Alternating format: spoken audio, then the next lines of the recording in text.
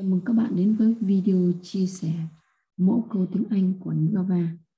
Hôm nay chúng ta cùng đến với bài số 1 của tiếng Anh 2, Unit 1, at my birthday party, ở bữa tiệc sinh nhật.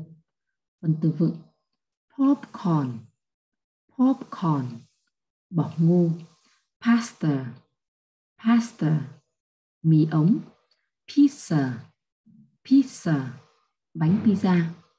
Để nói mình thích cái gì đó, chúng ta dùng cấu trúc I like cộng với các đồ ăn. I like popcorn. I like popcorn. Tôi thích bỏng ngô.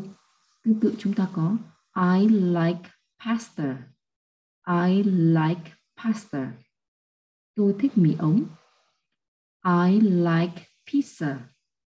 I like pizza. Tôi thích bánh pizza. Hẹn gặp các bạn ở video chia sẻ tiếp theo.